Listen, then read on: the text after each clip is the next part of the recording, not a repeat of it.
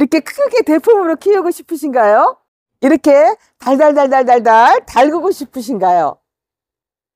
초보자분들 이대로만 하세요.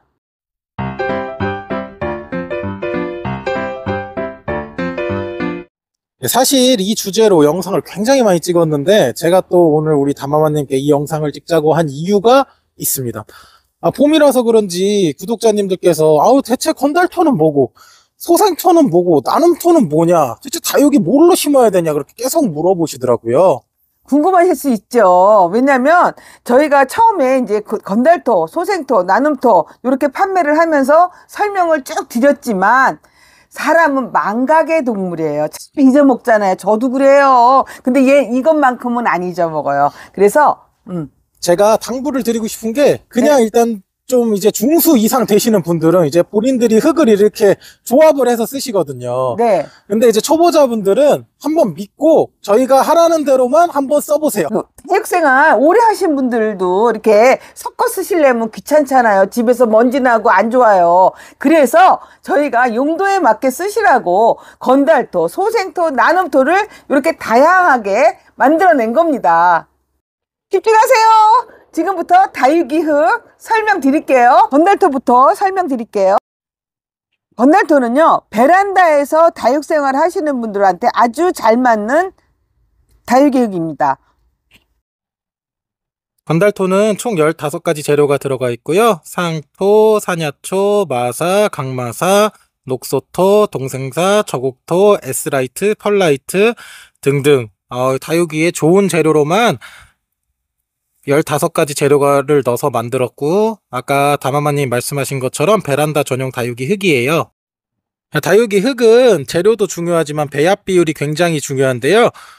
저희는 베란다에서 잘 달굴 수 있게 적합한 비율로 만들어져 있고요. 이게 다른 곳과 저희 흙의 차이점 되겠습니다. 저희는 100%저 조피디가 만들고 있고요.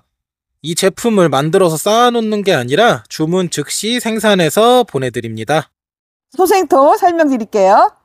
노지나 하우스에서 키우기 적합하게 만들어진 흙입니다. 단 하, 베란다에서요. 혹시 창이나 또 이렇게 좀 대품으로 키우고 싶으시다 하는 아이들 있으면 소생토를 사용하셔도 괜찮겠습니다. 건달토처럼 다육이에 좋은 재료가 15가지가 들어가 있고요. 건달토하고 차이점은 어, 상토 비율이 조금 높고 피트모스가 들어간다는 거예요. 피트모스 성분이 해가 많고 바람이 많은 지역에서 다육이를 성장시키는 데 도움을 주기 때문에 피트모스를 추가한 제품입니다. 아까 말씀드렸던 것처럼 다른 곳과 차별되는 거는 좋은 재료로 어, 바깥에서 키우실 수 있는 비율로 하우스 환경에 적합하게 만들어진 흙입니다. 소생토도 건달토와 마찬가지로 저희가 주문 즉시 생산해서 보내드리고 있습니다.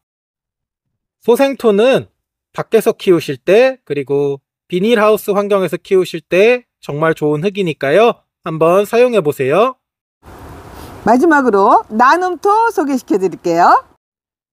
가마마 농장에서 사용하는 재배용 흙입니다. 나눔토는 앞서 말씀드린 것처럼 농장 재배용 흙인데요. 밭을 만드시거나 혹시 뭐 이제 꽃나무 같은 거 키우시는 분들이 있으시잖아요. 그리고 뭐 상추나 고추 같은 관엽 엽채류에도 굉장히 좋습니다. 가정, 하우스, 어느 장소에서나 입고지는 나눔토가 가장 좋습니다.